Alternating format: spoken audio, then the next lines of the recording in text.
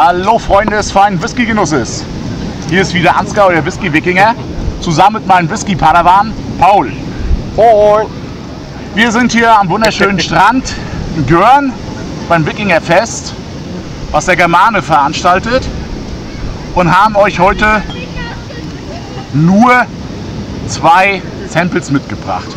Als erstes möchten wir einen Benri 18 Jahre verkosten, abgefüllt mit 43 Volumenprozent, nicht gefärbt und nicht kühl filtriert. Und so wie ich das verstanden habe, handelt es sich bei diesem Benri 18 Jahre um ein Waiting aus Bourbon und Sherryfässern. Wie die im Verhältnis zueinander stehen, kann ich leider nicht sagen, gibt es auch keine Angaben. Schön ist auf jeden Fall, dass er nicht gefärbt und nicht kühl filtriert ist. Und wir haben hier im Glas einen schönen satten Goldton. Dieser Benri 18 Jahre, schlagt mich jetzt nicht tot, müsste um 2017 herausgekommen sein, als sie äh, ja, die Core Range umgestellt haben, noch unter Billy Walker.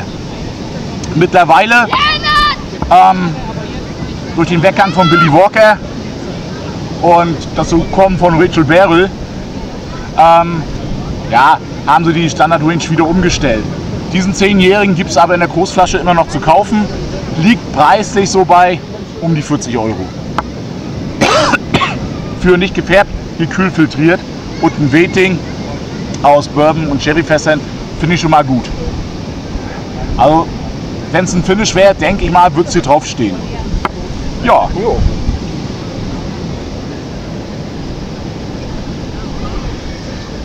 Benriach ist eine Speyside-Distille, Schwesterdistille von Glendronach.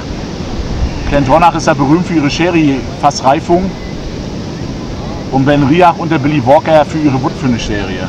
Da waren ganz tolle Sachen bei. Benriach macht auch schön rauchigen Whisky.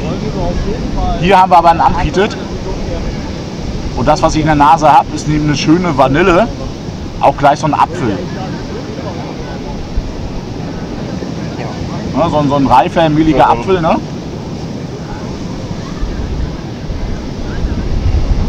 In Verbindung mit der Vanille wirkt er ziemlich süß. Ja. Ah, Ich finde nicht unangenehm. Also wirklich. Nee, der ist gut, ne? Jo. Also- also von der Nase her. Nicht wahnsinnig komplex, das nicht. Überfordert einen auch nicht, hat aber auch bloß 10 Jahre. Neben der Apfelnote habe ich jetzt auch ja, so eine Orange.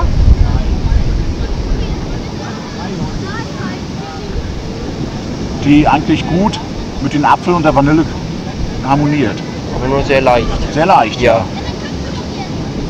Wenn man mich jetzt gefragt hätte, ob das wirklich eine, einen Sherryfassanteil hat, so von der ersten Nase her hätte ich wahrscheinlich gesagt, nö. Also der Sherryfassanteil hier in diesen Benri 18 Jahre scheint sehr gering zu sein. Also keine typischen Sherry-Aromen wie ja, Datteln, Feigen, Pflaumen oder sowas. Hat auch nichts Dunkles. Er wirkt sehr hell, sehr frisch Ja, sehr fruchtig. und sehr fruchtig, ja. Und fruchtig eben halt auf so einer hellfruchtigen Genau. Seite wie Apfel. Gleich auch eine Spur Birne. Eine leichte Orange. Ja, Na Hans. wollen wir mal gucken, was er am Gaumen sagt? Ja, Dann machen wir das. aus. Slunch. Mhm.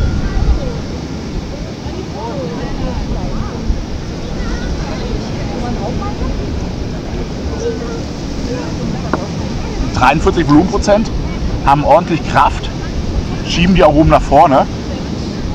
Und am Gaumen habe ich eine ganz präsente Vanille. Ja. Die, ja, doch, die ist sehr schön, die Vanille. Die Orange habe ich jetzt auch sehr deutlich. Leichte Zitrusfrucht. ne? Ja, genau. Ich hätte jetzt Ja. auch eher in Richtung Zitrus, in, in so Zitrone. Orange ist ja letzten Endes Mhm, Ja, Zitrusfrucht, aber eine etwas dunklere. Der Apfel mh, so, so hinten raus. Was ich nicht habe, ist eine Eiche. Also keine Bitterkeit, Nee, kein Holz nein. oder sowas. Ne? das hat er gar nicht. Eine leichte Pfeffrigkeit an der Zungenspitze.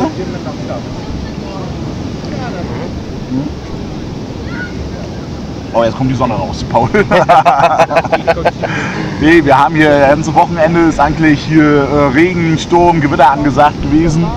Und jetzt kommt so die Sonne raus. Sind wir aber nicht böse. Nö, perfekt zum Video. Genau.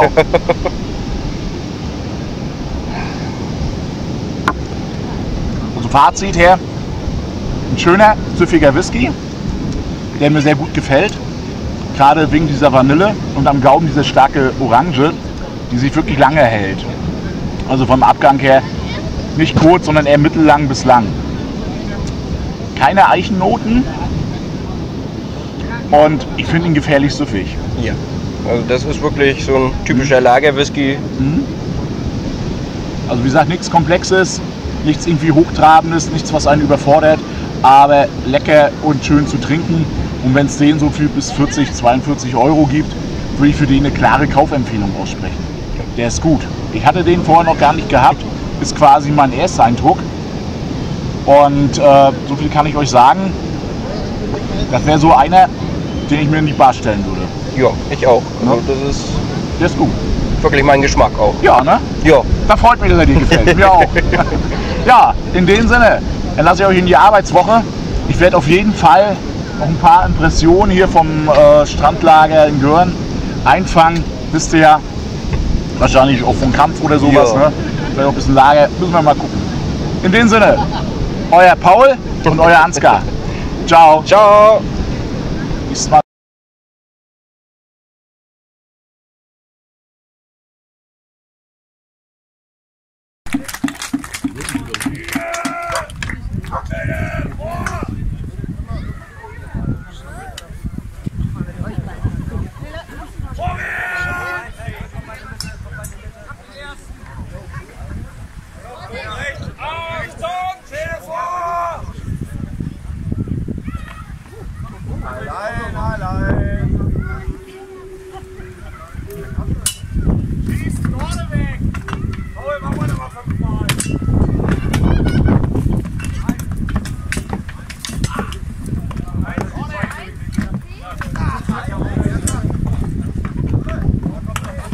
Gerade ein schöner Treffer vom Bogenschützen.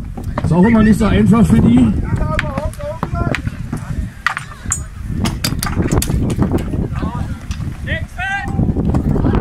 Zwei. Und immer zwei Trefferpunkte, egal ob Schwert, Speer, Bogen, alles.